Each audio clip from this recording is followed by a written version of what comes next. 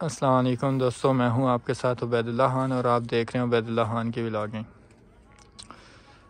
मैं आपकी खिदमत में एक बार फिर ट्रैक्टर एक ले कर हाज़िर हुआ हूँ जी। ये ट्रैक्टर उन्नीस सन इक्यासी का है जी, इसका मॉडल इक्यासी मॉडल है, उन्नीस सन इक्यासी मॉडल। जैसे इसका मॉडल है, ऐसी इसकी बॉडी है, ओरिजिनल बॉडी में है जी। चेक करें सारा। ये उन्नीस सौ इक्यासी मॉडल है। मेरी डबल एज क्या है ये? ये ट्रैक्टर मेरी डबल एज का है जी? उन्नीस सौ इक्यासी मॉडल है।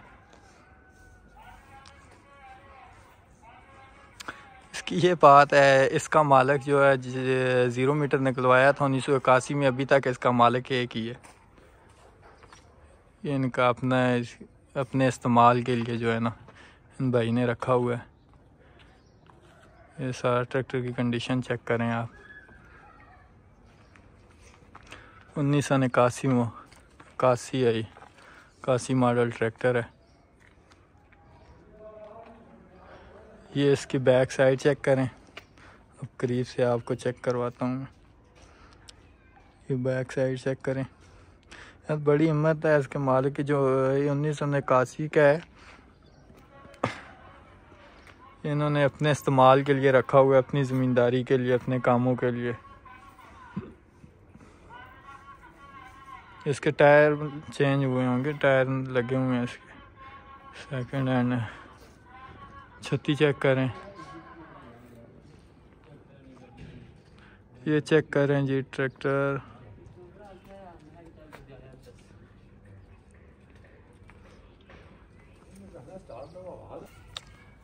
ये चेक करें, जी इंजन चेक करें इधर से। ये सारी कंडीशन आपके सामने है, ये चेक करें, जी। गेज बक्सा चेक करें।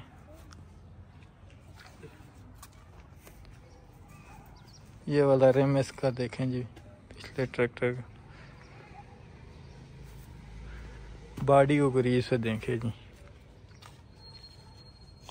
ये उन्नीस सौ इक्यासी मॉडल है, जी। मेरी डबल एज क्या है ये? ये सामने चेक करें, इसका फ्रंट चेक करें।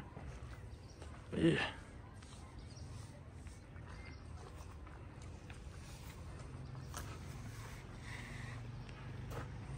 बॉडी आ गई। आपको इसका इंजन चेक करवाते हैं गेयर बक्सा ये बैक देख लें। ये चेक करें जी इंजन इसका आ गया। ये इंजन चेक करें। जिस हिसाब से ये ट्रैक्टर है उन्नीस सौ इक्यासी इसी हिसाब से इसका इंजन भी है जी।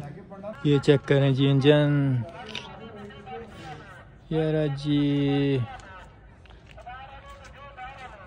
जिस हिसाब से इसकी उम्र है, उस हिसाब से ये इंजन है।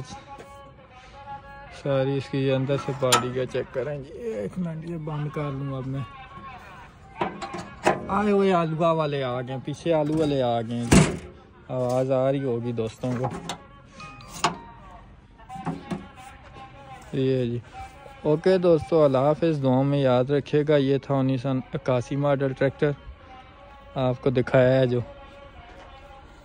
अल्लाह हाफिज़, दुआ में याद रखिएगा।